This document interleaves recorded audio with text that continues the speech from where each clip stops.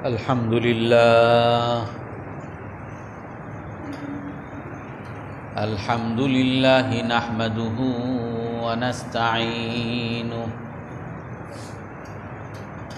ونستغفره ونؤمن به ونتوكل عليه. ونعوذ بالله من شرور أنفسنا ومن سيئات أعمالنا. من يهده الله فلا مضل له ومن يضلله فلا هادي له. ونشهد أن لا إله إلا الله وحده لا شريك له. ونشهد أن سيدنا ومولانا محمدا عبده ورسوله.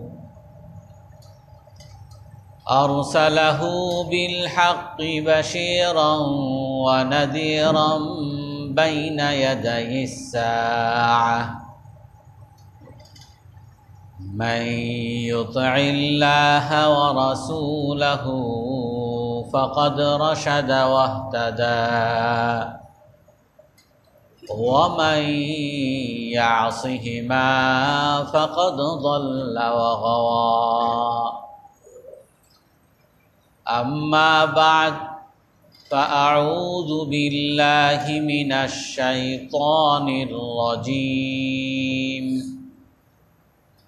بسم الله الرحمن الرحيم.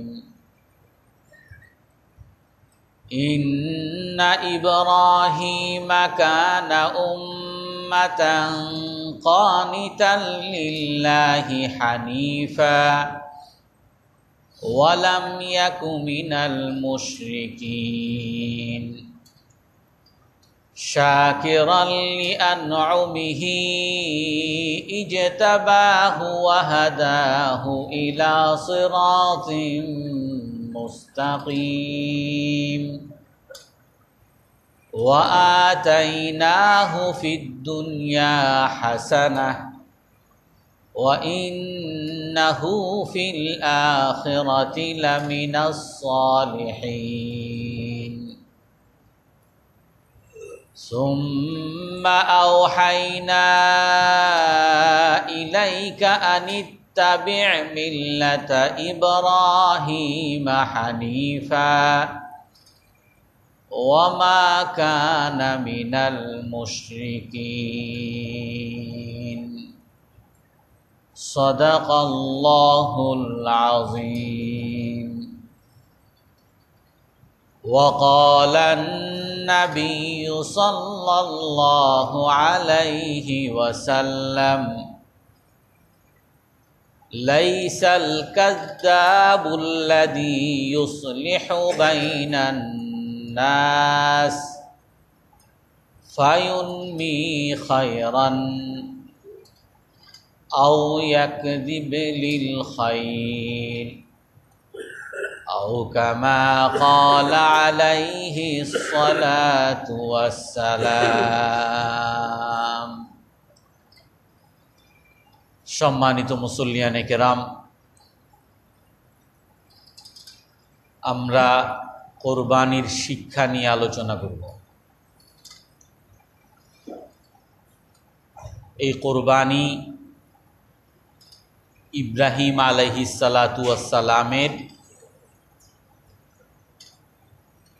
একটি বিশেষ আদর্শ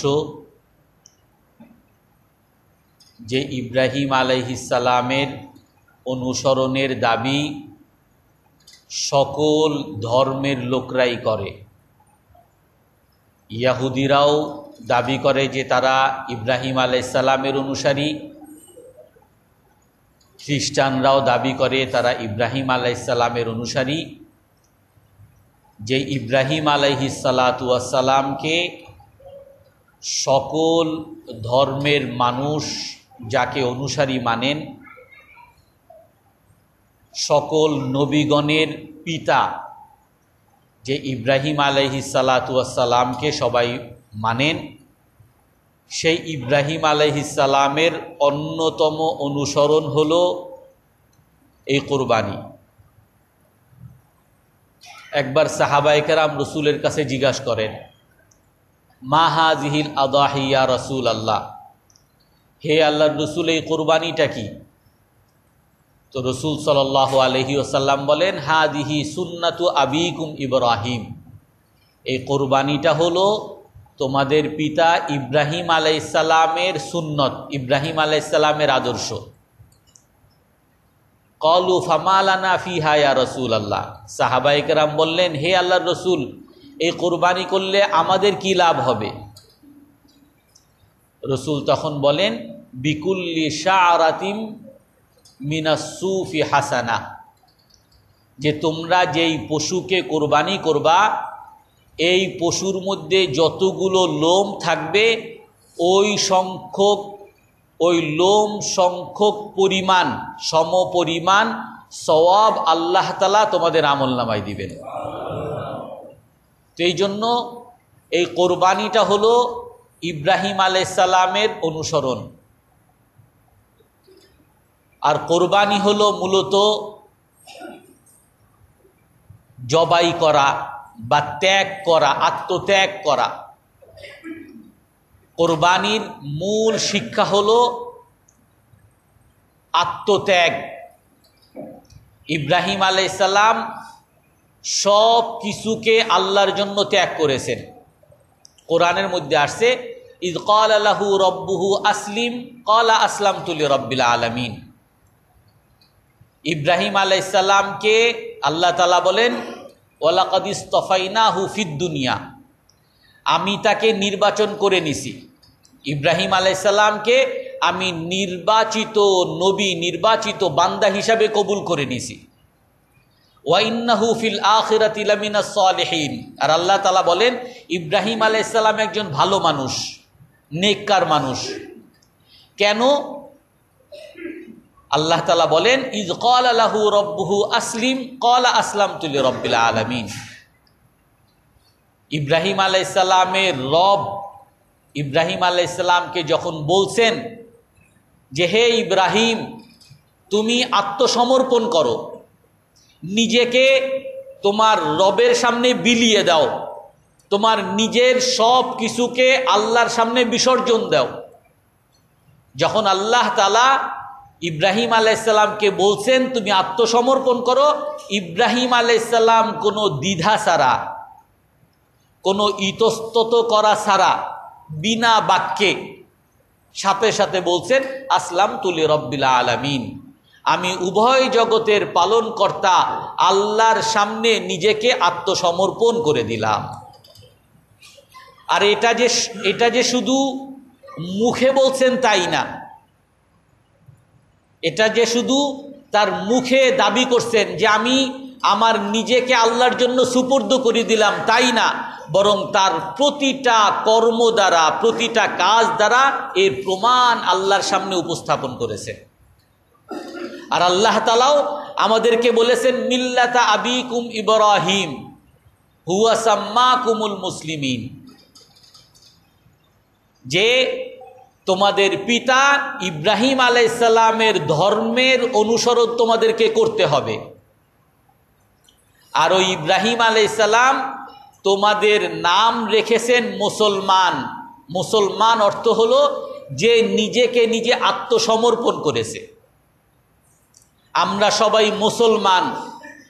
অর্থাৎ আমরা নিজেদেরকে নিজেরা আল্লাহর সামনে বিলিয়ে দিছি, আত্মসমর্পণ করে দিছি। আল্লাহর আদেশের সামনে আমাদের কোনো সে নাই, আমাদের কোনো বাক্য নাই, আমাদের কোনো আলাদা কোনো চাহিদা, আলাদা কোনো কথাবার্তা, আলাদা কোনো গোষ্ঠী, দল, আলাদা কোনো ভালোবাসা, কোনো কিছু নাই। আল্লাহর আদেশের সামনে আমরা সবাই আত্মসমর্পণ করেছি। আর যারা আল্লাহর সামনে নিজের সব কিছু বিলিয়ে দিবে, সেই হলো মুসলমান। আর যে নিজের সব কিছু বিলিয়ে দিবে না, সে কখনো মুসলমান হইতে পারবে না। মুসলমান অর্থই হইল যে নিজেকে বিলিয়ে দিছে। কোরআনের মধ্যে আসছে, ফাইন তানা ফি শাইইন ফারুদ্দুহু ইলাল্লাহি ওয়ার রাসূল। আখির।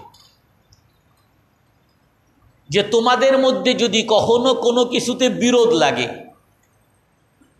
তোমাদের মধ্যে বিরোধ আসছে, তোমাদের মধ্যে দলাদলি হইছে, তোমাদের মধ্যে বিভক্তি হইছে মত ভিন্নতা হইছে, মতবিরোধ হইছে, তো আল্লাহ তালা বলেন যে তোমাদের তখন যেই মৌলিক বিষয়কে সামনে রেখে সবাইকে আত্মসমর্পণ করতে হবে, সেটা হলো আল্লাহ এবং আল্লাহর রসুল।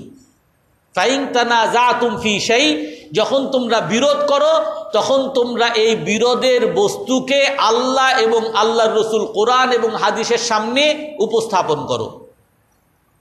কোরআন এবং হাদিস যা বলে, এটাকে তোমাদের বিনা বাক্যে মেনে নিতে হবে।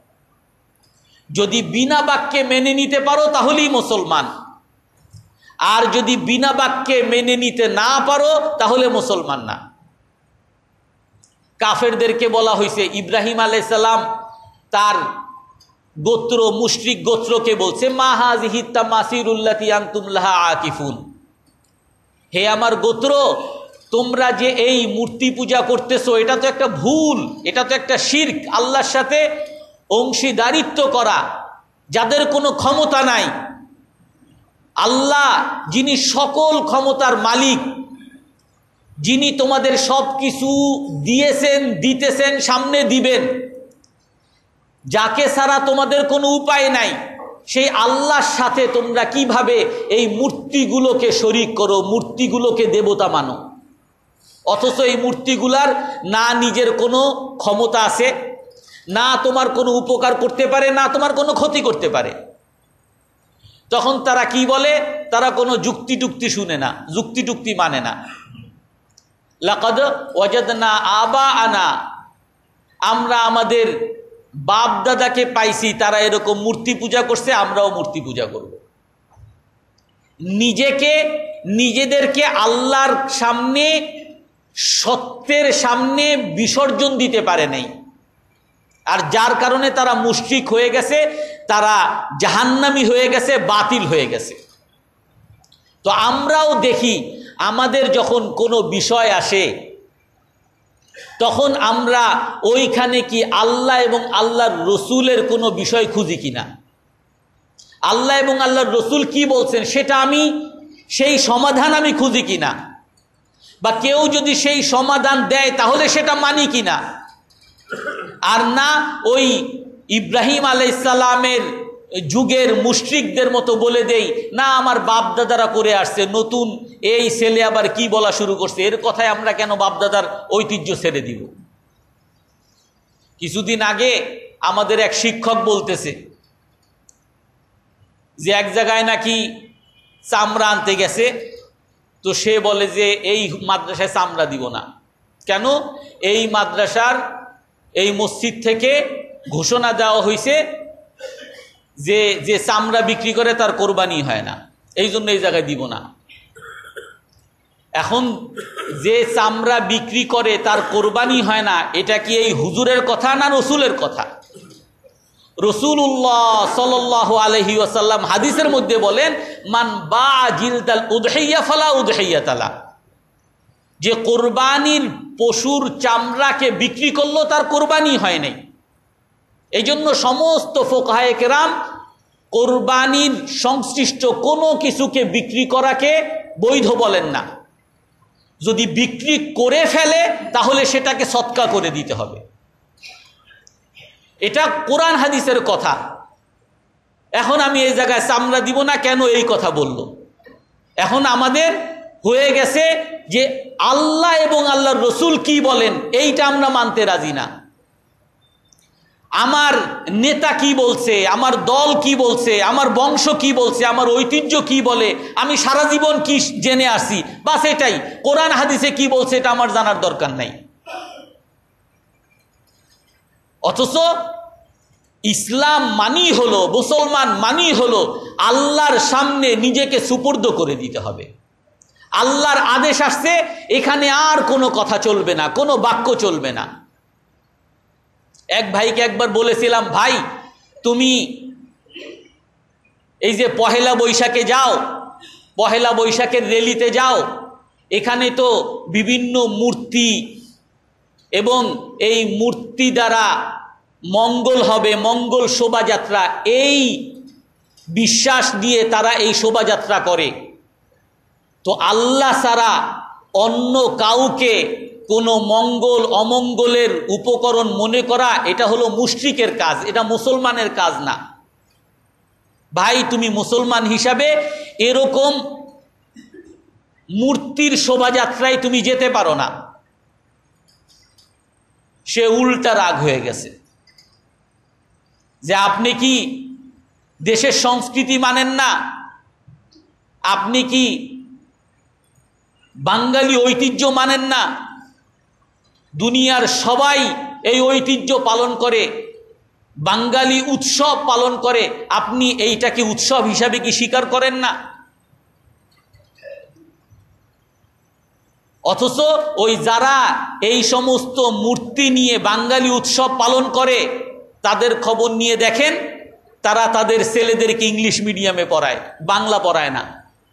অথবা তাদের ছেলে মেয়েদেরকে ওই আমেরিকা, ইউরোপে পড়ায়। বাংলা পড়ায় না, বাংলা পারে না তারা। তো এই জন্য ওই মুসলমান অর্থই হইল আত্মসমর্পণ করা। কোরআন এবং হাদিস যখন আসছে, তখন নিজেকে পুরা বিলিয়ে দিতে হবে। নিজেকে কোরআন, হাদিসের সামনে আত্মসমর্পণ করে দিতে হবে। সেখানে আর কোনো কামনা, বাসনা, চাহিদা, ক্ষমতা, প্রভাব, ঐতিহ্য কোনো কিছু থাকতে পারবে না। আল্লাহর সামনে নিজেকে সুপুর্দ করে দিতে হবে। আল্লাহ তালা কোরআনের মধ্যে বলেন, ইন্না ইব্রাহিম কানা হানিফা মিনাল মুশরিকিন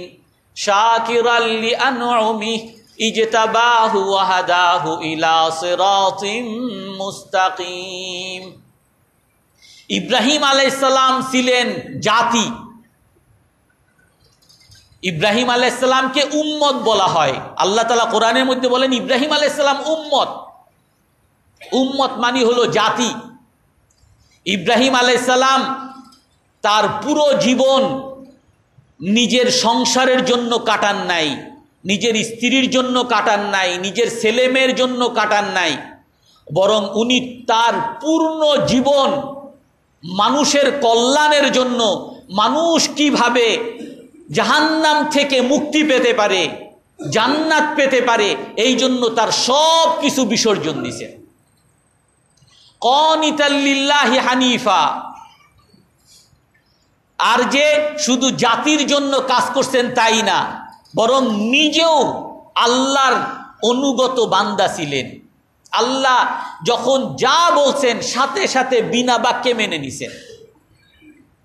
নিজের ছেলেকে জবাই দিতে বলছেন, নিজের ছেলেকে জবাই দেওয়ার জন্য নিয়ে যাচ্ছে। শয়তান আসছে।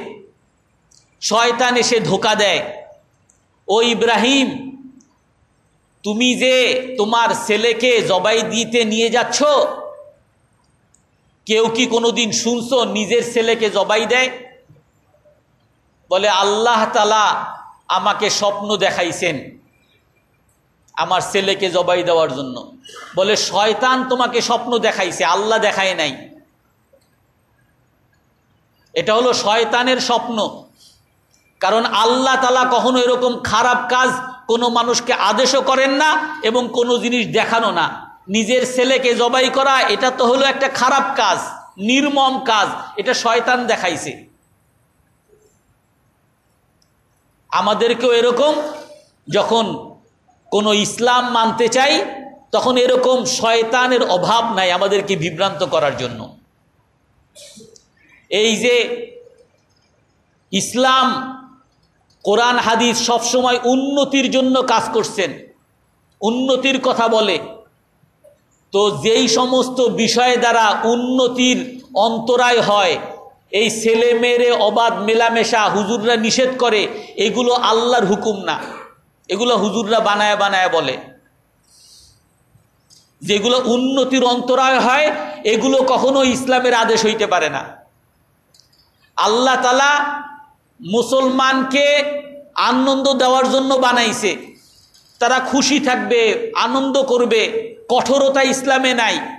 তো এই যে যারা পহেলা বৈশাখ আর বিভিন্ন রেলিতে বাধা দেয়, গান বাজনাকে বাধা দেয়, এরা মানুষের উপরে কঠোরতা করে। এই সব আদেশ আল্লাহ তালা কোরআন, আল্লাহ করেন নাই, রসুল করেন নাই। এরকম বিভ্রান্তি ওই শয়তানের মতো হাজারো যে আল্লাহর আদেশ না এটা। তো ইব্রাহিম আলাইসাল্লাম কি করছেন? ইব্রাহিম আলাইসাল্লামকে যখন নাকি শয়তান এই বিভ্রান্ত করতে চাইছে যে আপনি যে স্বপ্ন দেখছেন, এটা শয়তানের স্বপ্ন। ইব্রাহিম আলাইসাল্লাম বলেন যে আমি নবী, কোনটা শয়তানের স্বপ্ন আর কোনটা আল্লাহর স্বপ্ন, এটা আমি বুঝি না। তুমি আমারে বিভ্রান্ত করতে আসছো। যা ভাগ, শুধু ভাগ বলে নাই, পাথর নিয়ে পাথর মারছে। তার সাথে কোনো আপোষ নাই, ঠিক আছে, শুনি, তুমি কি বলো? অনেক মানুষ এরকম বিভ্রান্ত হয় যে হ্যাঁ আসলেই তো রসুল, কীভাবে নয়টা বিয়ে করেন? এর দ্বারা তো আসলে নারীদের উপরে সম্মান হয় নাই। এটা কীভাবে হয়? না, রসুল কীভাবে একজন ছোট নারীকে বিয়ে করেন? আসলেই তো এটা কেমন একটা বিষয়।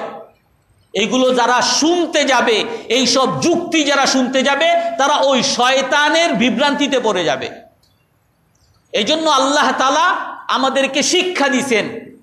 ইব্রাহিম আলাইসাল্লামের কাছে যখন এরকম বিভ্রান্তি করতে আসছে যে যা তুই একটা শয়তান, তোর কথা শুনি না। পাথর মেরে তাড়িয়ে দিছে। আর সেই পাথর আমরা এখনও মারতেছি। এখনও অনেকে যায় পাথর মারতে গেলে, দেখি পাথর মারে না, জুতা পাইছে শয়তান একেবারে জুতা মারে, ছাতি মারে, ওইটা মারে শয়তান আজকে মাইরা ফেলবে। এখন ওইখানে শয়তান মারা, এটা তো মূল মূল উদ্দেশ্য না। মূল উদ্দেশ্য হলো ভিতরের শয়তানকে মারা। রসুল প্রতীকী হিসাবে আমাদেরকে আদেশ করছেন যে একটা ছোট পাথর নিয়ে এভাবে নখ দিয়ে মারতে বলছে। যে শয়তানরে একেবারে জুতা পিড়ায় মায়েরা ফেলব, এরকম মারতে বলেন নাই। নিজের শয়তানকে মারতে বলছে। যে আমি যে সব সময় ওই শয়তানি কথা শুনি কোরআন হাদিসের বাইরের লোকদের সাথে মিশি, তাদের প্ররোচনায় পড়ি, এগুলো সব এই সকল প্ররোচনা। আল্লাহ এবং আল্লাহর রসুল ছাড়া, আল্লাহ এবং আল্লাহর রসুলের বিরুদ্ধে যত দোস্ত হোক, যত ছেলে মেয়ে হোক, যত বন্ধু বান্ধব হোক, যত বাবা মা হোক, আল্লাহ এবং আল্লাহর রসুলের বিরুদ্ধে যেই আসবে, সেই হলো শয়তান। তাকে আমি পাথর মারব। এটা হলো শিক্ষা। মায়ের কাছে আসছে, হাজের আরাদি আল্লাহ তালানহার কাছে। যে হে তুমি জানো তোমার ছেলেকে কোথায় নিয়ে যাচ্ছে? বলে, আমার ছেলেকে তো পাহাড়ে নিয়ে যাচ্ছে, ওইখানে কিছু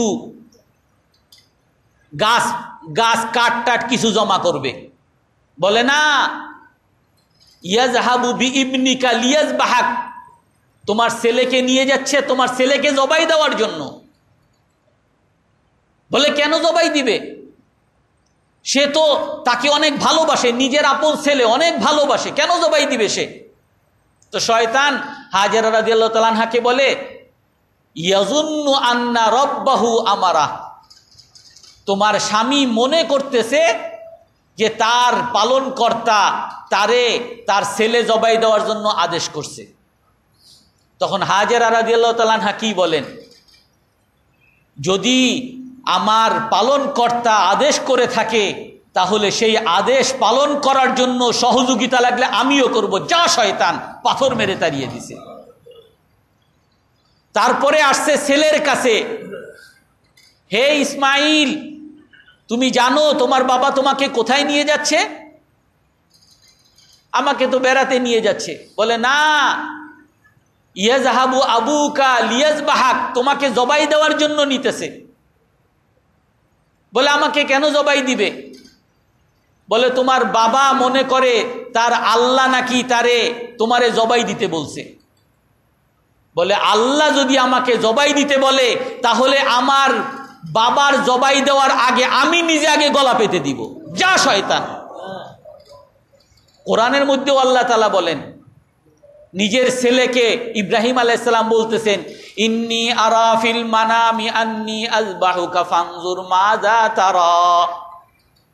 হে আমার ছেলে, আমি স্বপ্নে দেখেছি, আমি তোমাকে জবাই করতেছি। আর নবীদের স্বপ্ন, এটা হলো আদেশ। এখন তুমি কি বলো? তার ছেলের কাছ থেকে পরামর্শ নিতেছেন যে, জবাই করবেন কি করবেন না, এরকম না। আল্লাহর আদেশ করবেনই, কিন্তু নিজের ছেলেকে ওই কাজের মধ্যে, ভালো কাজের মধ্যে অংশীদার করতেছে। যে আল্লাহ আমাকে একটা আদেশ করছেন, এখন তুমি কি বলো? তো তার ছেলে কি বলে? ইয়া আবাতি ফাল মা তু উমার সাতাজিদুনি ইনশা আল্লাহু হে আমার বাবা, এমন বলে নাই। কি বলেন বাবা? এরকম না। হে আমার বাবা, আদরের সাথে। হে আমার বাবা আপনাকে যা আদেশ করা হয়েছে, যা আদেশ করা হবে তাই আপনি করেন। এটা বলেন নাই যে আপনারা জবাই করতে বলছে জবাই করেন। এতটুক বলেন নাই। বলছেন কি, আপনাকে যা বলা হয়েছে তাই করেন। যদি আমাকে কেটে টুকরা টুকরা করতে আল্লাহ বলে, তাও করবেন। যদি আল্লাহ বলে যে আমার, আমাকে জবাই করে, আমার চামড়া আপনি লবণ দিয়ে ছিঁড়বেন, একেবারে জীবন্ত চামড়া খুলে ফেলবেন, তাও আপনি করবেন। ইয়া আবাতি ফাল মা তু উমার। যা আপনাকে আদেশ করা হয় তাই আপনি করেন। সাতা জিদুনি ইনশা আল্লাহ সাবিরিন। আপনি আমাকে ধৈর্যশীল পাবেন। আমি ছোট বলে আমি হা হুতাশ করব এমন না। আমি ধৈর্যশীল থাকব। আপনি আমাকে ধৈর্যশীল পাবেন। আর ধৈর্যের চরম পরীক্ষা দিছেন। জবাই করতেছে সোজা। জবাই হয় না। তখন ইসমাইল আলাইসালাম বলতেছে যে, বাবা, আমার আমার চেহারা দেখে মনে হয় আপনার হাত চলে না। আপনি আমাকে উপর করে দেন। আমার হাত পা বেঁধে দেন।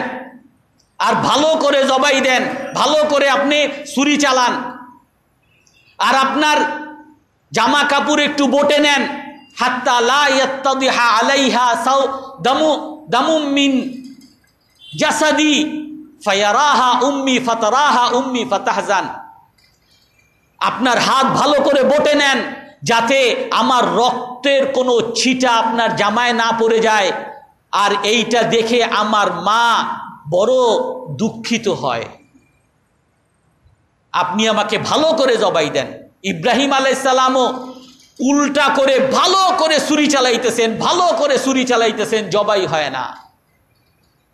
আর আল্লাহ তালা তখন ওই আসমান থেকে আয়াত নাজিল করছেন ফালাম্মা আসলামা ওয়াতাল্লাহু লিল জাবিন ওয়ানাদাইনাহু আইয়া ইব্রাহিম قد صدقت الرؤيا إنا كذلك نجزي المحسنين আল্লাহ তালা বলেন যখন আমার এই দুই বান্দা শুধু ইব্রাহিম আলাইসাল্লাম না ইব্রাহিম আলাইসাল্লাম এবং তার ছেলে ইসমাইল আলাইসাল্লাম দোনোজন পুরোপুরি আমার আদেশের সামনে আত্মসমর্পণ করেছে। আমি আমার বান্দাদেরকে আজাব দিতে চাই না। আর তার ছেলেকে উপুর করে যখন জবাই দিতে বারবার চেষ্টা করতেছে, আমি তখন আমার আরস থেকে আওয়াজ দিছি, হে ইব্রাহিম কত সদ্দাকতার রুইয়া, হয়ে গেছে, আমার আদেশ পালন হয়ে গেছে।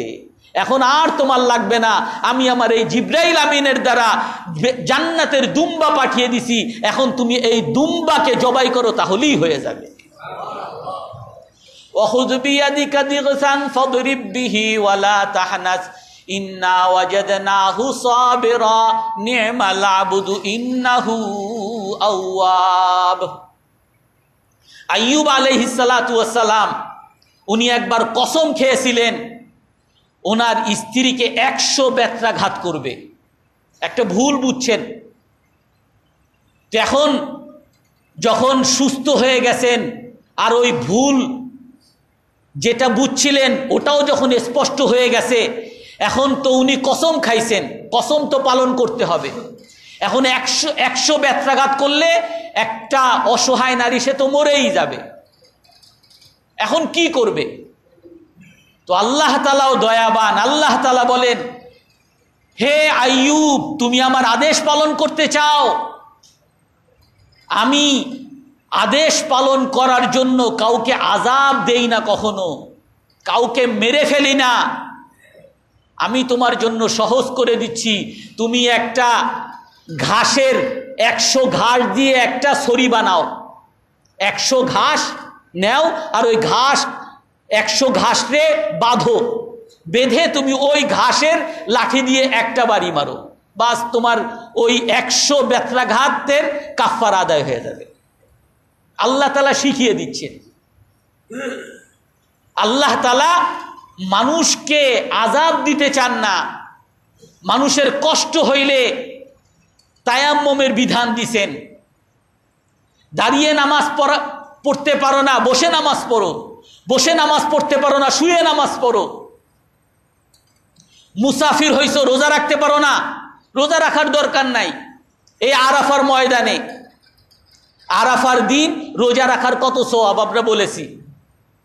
যে ওই আরাফার দিনের রোজা, সিয়াম আরাফা, আহতাসিবু আলাল্লাহ আন ইউকাফিরা সানাতাল্লাতি ক্বাবলা সানাতাল্লাতি বাদা। আরাফার দিনের একটা রোজা রাখলে আল্লাহ তালা পিছনের এক বছর আর সামনের এক বছর দুই বছরের গুণ আল্লাহ তালা মাফ করেন। এত বড় পবিত্রতম রোজা।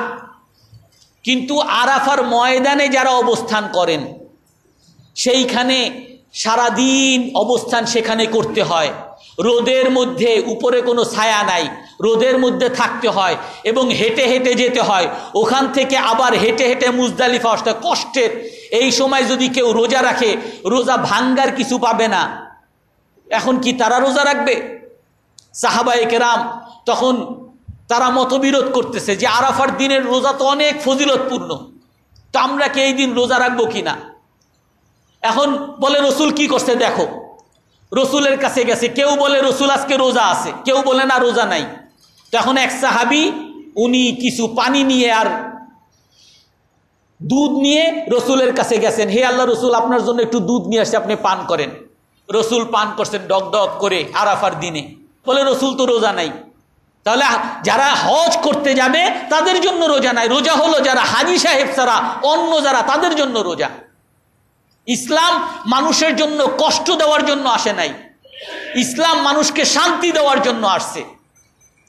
আল্লাহ তালাকে মানলে মানুষ দুনিয়াতেও শান্তি পাবে, আখেরাতেও শান্তি পাবে। এটাই চরম বাস্তবতা, এটাই চরম সত্য কথা। আর এটা এখন বর্তমানে প্রমাণিত। তো ইব্রাহিম আলাইসাল্লাম উনি যেরকম মানুষের জন্য কাজ করেছেন, উনি নিজেও কানা উম্মাতাং কনিতাল্লিল্লাহ আল্লাহর সামনে অনুগত ছিলেন। শাকির আল্লি আনমি আর সব সময় কৃতজ্ঞতা প্রকাশ করতেন আল্লাহর। হে আল্লাহ, আপনি আমারে নব্বই বছর পর্যন্ত ছেলে দেন নাই আরও কত কিছু দিছেন, আপনার হাজারো শুক্রিয়া, আল্লাহর শুক্রিয়া আদায় করতো সব সময়। কখনো আল্লাহর উপরে হা হুতাশ করতো না। এই কোরবানির একটা অন্যতম শিক্ষা। আল্লাহর শুক্রিয়া আদায় করা। এই যে এত বড় বড় পশু, যেই পশু যখন দৌড় মারে, শুধু ওই যে যে ধরে, সে শুধু আহত হয় তাই না। বরং তার সামনে যত মানুষ থাকে, দশ, পনেরো, বিশ জন সব আহত করে। কেউ তার সামনেও যেতে পারে না। চার পাঁচজন মিলে জবাই করার জন্য এদিকে পা ধরে হঠাৎ করে যদি উঠে যায়, এর মাথা ফাটে, এর ওইটা ফাটে। এখন এই গরু যদি আল্লাহ তালা আমাদের জন্য এভাবে নিয়োজিত না করতেন, আমাদের অনুগত না করে দিতেন, যে আমরা শোয়াইতেছি, শুয়ে যাচ্ছে। এই গরুকে যদি বাঘের মতো হিংস্র প্রাণী বানাইতেন, বাঘ তো ছোট একটা প্রাণী, আর এর হিংস্রতার কারণে এলাকার পর এলাকা খালি হয়ে যায়। আর গরু তো কত উঁচা। সে যদি এরকম বাঘের মতো হিংস্র হইতো, আর সে যদি কামড়াইতো, বাঘের মতো তারও তো কামড়ানের ক্ষমতা আছে, সে যদি কামড়াইতো, গুতা দিত, কোনো মানুষ ওই গরুকে শোয়া, জবাই দিয়া খাওয়ার মতো কারও সাহস ছিল না। ওই গরুকে অনুগত আমাদের জন্য আল্লাহ তালা করছেন। কাদালিকা সাক্ষারাহা লাকুম লিতু কাব্বিরুল্লাহ আল্লাহ তালা বলেন, এই গরুকে, এই উটকে আমি তোমাদের জন্য অনুগত করেছি, আমি করেছি। আল্লাহ বলেন, আমি করেছি। এই জন্য তোমরা আল্লাহর শুক্রিয়া আদায় করো। প্রতিটা মুহূর্তে মুহূর্তে আল্লাহর কত হাজারো লক্ষ, কোটি কোটি নিয়ামত আমরা গ্রহণ করতেছি।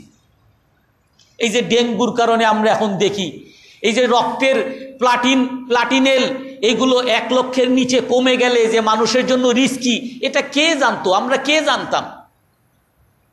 একশো, দশ হাজারের নিচে চলে আসলে যে মানুষ মরে যায়, অনেকে মরেও গেছে, কে জানতো এটা? এইটাকে আল্লাহ তালা সব সময় এই রক্তকে আমাদের জন্য ওই এক লক্ষের উপরে সব সময় অটোমেটিক এক লক্ষের উপরে প্লাটিনেল রাখছেন। কোনো সময় এর জন্য ওষুধও খাই নেই কোনো সময় এর জন্য আলাদা কিছু আল্লাহর কাছে দোয়াও করি নাই। সব কিছু যদি আল্লাহর কাছে দোয়া করে নিতে হইতো, প্রতি মুহূর্তে আমরা শ্বাস নেই। প্রতি শ্বাসের জন্য আল্লাহর কাছে যদি বলতে হইতো, হে আল্লাহ, আমারে শ্বাস নেওয়ার ক্ষমতা দেন। ওই দোয়া করবে না মানুষ, শ্বাস নিবে, ওইখানেই তো মরতো। কত এই শুধু ওই প্লাটিনেল না, এরকম রক্তের মধ্যে সত্তরটা উপাদান একটা উপাদান যদি একটু কমে যায়, মানুষের ভারসাম্যতা নষ্ট হয়ে যায়। আমারই এক আত্মীয় আবল তাবল বকে। ডায়াবেটিস ছিল। পায়ের মধ্যে একটু সমস্যা হয়েছে হাসপাতালে নেওয়া হয়েছে ডাক্তার কেউ ধরতে পারে না, কি হয়েছে আবল তাবল বকে। সবাই বলতেছে, কি ব্যাপার? এরকম পাগলামি করতেছে কেন? কিছু চিনে না, কাউকে কিছু চিনে না। ডাক্তারও বিভিন্ন পরীক্ষা করছে, কিছুই বুঝে না। তারপরে বড় ডাক, বড় হাসপাতাল বারডেমে পাঠাইছে। বারডেমে গিয়ে তারপর ওই রক্ত পরীক্ষা করছে। রক্তের মধ্যে যে বিভিন্ন পরীক্ষা, সত্তরটা উপাদানের মধ্যে একটা উপাদান পাইছে, যে ম্যাগনেশিয়াম একটু কম। ওই কম হওয়ার কারণে ওই ব্যালেন্স ঠিক নেই, ভারসাম্যতা নষ্ট হয়ে গেছে। শুধু ওই সত্তরটা উপাদানের একটা উপাদান কম। এরকম কত লক্ষ লক্ষ নিয়ামত আমরা প্রতি মুহূর্তে আল্লাহর ভোগ করতেছি। আল্লাহর কৃতজ্ঞতা আমরা কি করতেছি? আর ইব্রাহিম আলাইসাল্লাম সব সময় কৃতজ্ঞ ছিলেন, হে আল্লাহ, আপনি আমাকে অনেক ভালো রাখছেন। প্রতিটা বান্দার এটা দায়িত্ব, হে আল্লাহ, অনেক ভালো রাখছেন। আপনি তো আমাকে পালতেছেন, আপনি তো আমাকে জীবিত রাখতেছেন, আপনি তো আমাকে সুস্থ রাখতেছেন। তো আমি আপনার আদেশ ছাড়া অন্য আদেশ কীভাবে পালন করব। ইব্রাহিম আলাইসালাম নিজে অনুগত ছিলেন এবং নিজে কৃতজ্ঞ ছিলেন। এবং জাতির জন্য কাজ করেছেন, জাতির জন্য। এই জন্য কোরবানির একটা অন্যতম শিক্ষা হলো জাতির জন্য কাজ করা। নিজের সব স্বাদ আহ্লাদ সব কিছুকে ত্যাগ করা, জাতির জন্য কাজ করা। আল্লাহ তালা কোরআনের মধ্যে বিভিন্ন জায়গায় জাতির জন্য কাজ করতে বলছেন। কুন্তুম খায়রা উম্মাতি নুখরিজাত লিন্নাস। তোমরা সেরা উম্মত, সেরা জাতি। কারণ কি? কারণ তোমাদেরকে সৃষ্টি করা হয়েছে মানুষের কল্যাণ করার জন্য। আমাদেরকে আল্লাহ তালা শ্রেষ্ঠত্ব দিছেন আমরা মানুষের কল্যাণ করব। মানুষকে ভালো কাজের আদেশ করব, খারাপ কাজের নিষেধ করব এই জন্যই আল্লাহ তালা আমাদেরকে সৃষ্টি করছেন। আল্লাহ তালা কোরআনের মধ্যে বলেন, ওয়াইন খিফতুম শিকাকা বাইনিহিমা ফাবাসু হাকামাম মিন আহলিহি ওয়া হাকামাম মিন আহলিহা। ইন ইউরিদা ইসলাহাই ইউওয়াফিকিল্লাহু বাইনাহুমা। তোমার শুধু নিজেকে নিয়ে ব্যস্ত থাকার জন্য আমি তোমাকে বানাই নাই।